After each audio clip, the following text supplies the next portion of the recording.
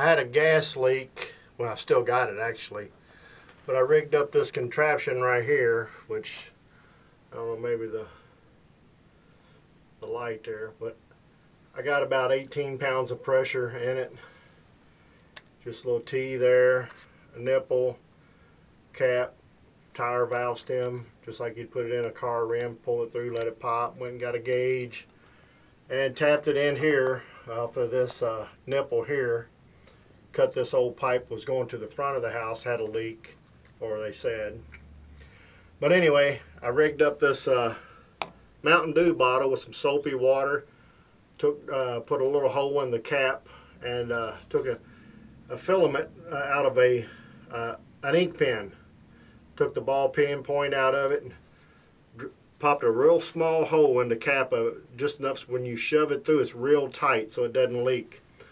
But what you do is you take it, and it's a lot better than uh, say a spray bottle. See that stream like that?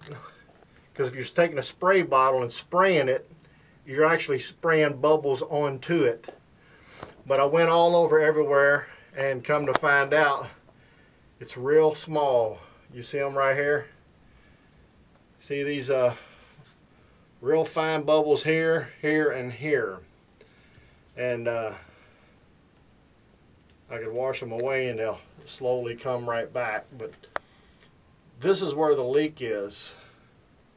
Yeah, try to get it in focus for you, but uh, you'll see what I'm talking about. But this little uh, Mountain, Boo- Mountain Dew bottle and uh, some dish soap, I probably put about a quarter cup uh, of a dish soap to the rest water. But uh, it found my leak. I went through the all the rest of the pipes couldn't find any more. You can see how small that there's just now starting to come back where I doused it a while ago. But I'm gonna have to split this pipe right here. I'm gonna have to cut it, take it, thread it, and put a uh, a union in between here. But so I can get in there to fix it because this is threaded back over to this other side right here. So there's no way to unscrew it. If you try to unscrew this uh, left, it's actually tightening it up into that one, so that won't work. It's got to be cut. You got to cut it and put a union in somewhere. Why not about right here, where it's real simple. That's probably what I'll do. I'll cut it about right here.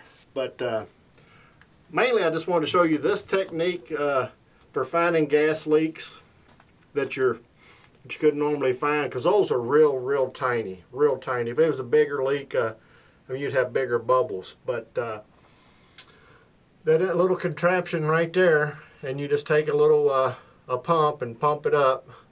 I may have a little too much. I don't know. I've got about oh, say 15, 16 pounds of pressure in it, and it's holding. I mean, I mean, it held overnight, and it got down to, I mean, two or three pounds. So.